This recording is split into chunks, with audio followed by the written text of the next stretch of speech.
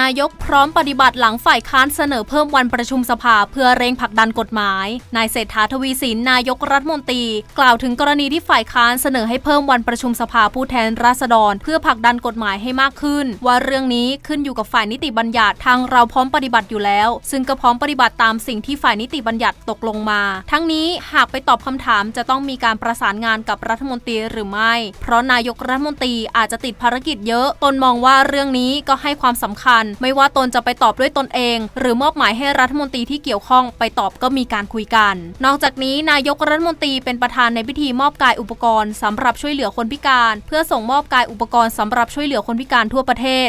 72,000 ชุด เฉลิมพระเกียรติพระบาทสมเด็จพระเจ้าอยู่หัว เนื่องในโอกาสพระราชพิธีมหามงคล เฉลิมพระชนมพรรษา 6 รอบ 28 กรกฎาคม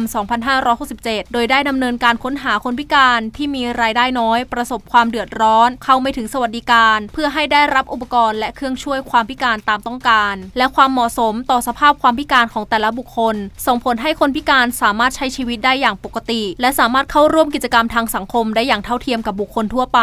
ซึ่งการอุปกรณ์และเครื่องช่วยความพิการจึงนับว่าเป็นโครงการที่มีประโยชน์อย่างยิ่ง เป็นส่วนหนึ่งของการแสดงความจงรักภักดี จากคณะรัฐบาลโดยสำริดไปสู่ประชาชนคนพิการที่อยู่ภายใต้พระบารมีของพระบาทสมเด็จพระเจ้าอยู่หัวพาณิชย์แจงกาแฟปรับส่วนลดการค้าไม่ได้ขึ้นราคาผู้บริโภค ชี้ต้นทุนเมล็ดกาแฟราคาสูง นายวัฒนศักดิ์เสือเอี่ยม อธิบดีกรมการค้าภายใน เปิดเผยถึงกรณีที่มีข่าวว่ากาแฟจะปรับขึ้นราคา ว่ากรมการค้าภายใน ได้ประสานหารือกับผู้ประกอบการผู้ผลิตกาแฟแล้ว และได้รับคำยืนยันว่าจะไม่มีการปรับราคาจำหน่ายขึ้น แต่มีการปรับส่วนลดการค้าลง เพื่อบริหารจัดการต้นทุนการผลิต ไม่ให้ส่งผลกระทบต่อผู้บริโภค ถึงแม้ว่าราคาเมล็ดกาแฟ ซึ่งเป็นต้นทุนวัตถุดิบหลักจะมีราคาสูงขึ้นมากก็ตาม เนื่องจากปริมาณเมล็ดกาแฟในแหล่งผลิตสำคัญ มีปริมาณลดลงจากภาวะภัยแล้ง อย่างไรก็ตามกรมจะติดตามสถานการณ์ ราคาจำหน่ายสินค้าอุปโภคบริโภคอย่างใกล้ชิด กรณีมีการปรับราคาจะต้องพิจารณา ให้สอดคล้องกับต้นทุนที่สูงขึ้น และจะไม่ส่งผลกระทบต่อผู้บริโภคมากจนเกินไป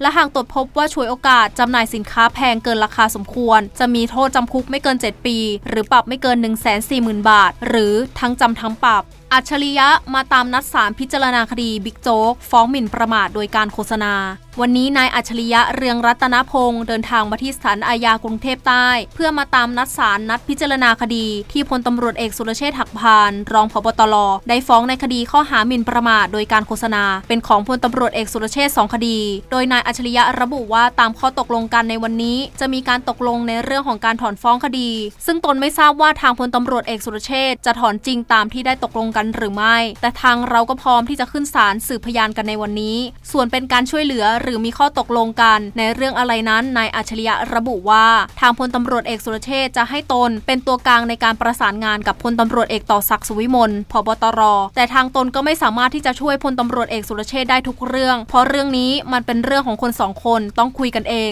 ตนไม่สามารถเข้าไปก้าวล่วงได้ เพราะวันที่มีการรับมอบอำนาจมา ตนก็ถือว่าเป็นการสิ้นสุดอำนาจหน้าที่ไปแล้ว อีกทั้งได้บอกกับพลตำรวจเอกสุรเชษว่า การที่ออกมาฟ้องร้องใคร หรือมีการไปออกสื่อมันเป็นเรื่องที่จะทำให้กระทบกับหลายฝ่าย เกรงว่าพลตำรวจเอกสุรเชษจะได้รับผลกระทบ ทั้งนี้นายอัจฉริยะยืนยันว่า หากทางพลตำรวจเอกสุรเชษเปลี่ยนใจไม่ถอนฟ้อง ตนก็พร้อมที่จะขึ้นศาลสืบพยาน และก็มั่นใจว่าสิ่งที่ตนทำไป ไม่ได้เป็นการใส่ร้ายหรือใส่ความบิ๊กโจ๊กไม่ถอนฟ้อง จนกว่าจะได้กลับไปตอรอ ยันไม่มีดีลลับ เดินหน้าหาความยุติธรรมให้ตนเองพลตำรวจเอกสุรเชษฐ์หักพานรองผู้บัญชาการตำรวจแห่งชาติ ได้เดินทางมาที่ศาลอาญากรุงเทพใต้ เพื่อมาตามนัดศาลนัดพิจารณาคดี ที่ฟ้องในคดีข้อหาหมิ่นประมาทโดยการโฆษณานายอัจฉริยะเรืองรัตนพงศ์ประธานชมรมช่วยเหลือเหยื่ออาชญากรรมพลตำรวจเอกสุรเชษเผยว่าศาลนัดไต่สวนมูลฟ้อง เป็นคดีที่ตน ได้ยื่นฟ้องต่อนายอัจฉริยะเรืองรัตนพงศ์ตนได้ยื่นฟ้องไว้นานแล้ว